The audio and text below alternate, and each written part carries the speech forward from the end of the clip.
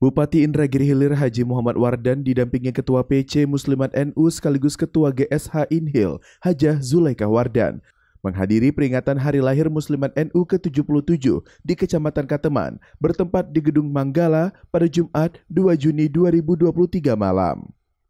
Harlah MNU ke-77 tersebut berlangsung meriah, tampak dari ramainya kehadiran Muslimat NU, baik dari pengurus pimpinan anak cabang sampai ranting anak cabang sekateman, dan juga turut dihadiri oleh organisasi kemasyarakatan yang ada di Kecamatan Kateman.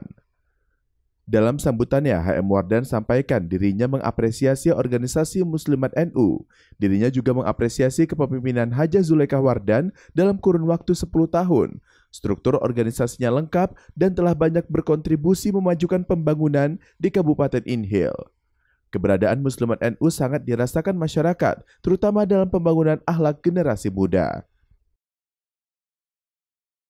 Dalam masa 8 tahun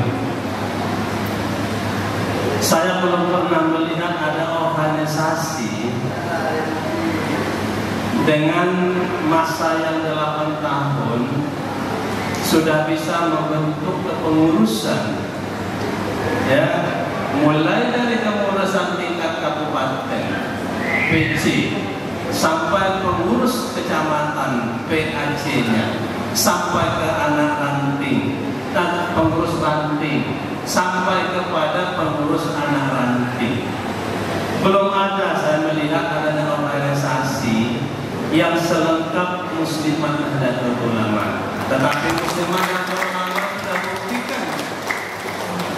Dalam era ya, banyak saya sudah melihat ya, banyak saya melihat sudah organisasi-organisasi dosa. Saya juga ada memimpin satu organisasi partai besar katakanlah partai. Saya ketua partai golongan karya tapi apa yang ditampilkan oleh muslimat dan anak ulama dibandingkan dengan organisasi besar yang saya pegang jauh lebih lengkap kepengurusan muslimat dan ulama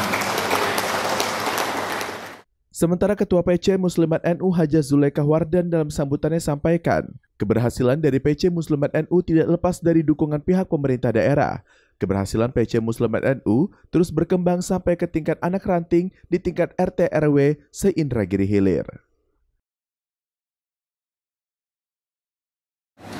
Nah kemudian dalam rangka memperingati hari lahirnya yang ke-77 Muslimat Nahdlatul Ulama Indra Girilir itu baru usianya 7 tahun di Indra Girilir.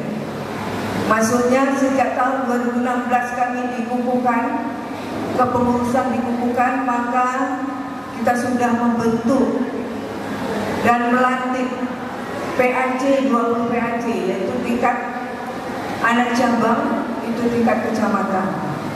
Kemudian ranting sebanyak 236 yaitu tingkat desa dan. Nah kemudian sekarang sudah ada sampai anak ranting, artinya sampai RT RW. Nah ini.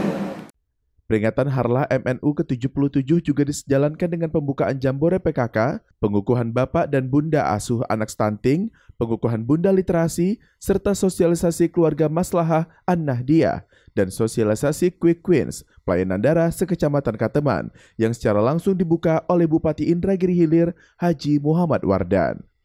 Dari Kecamatan Kateman, Popi Andriko melaporkan untuk Gemilang Televisi.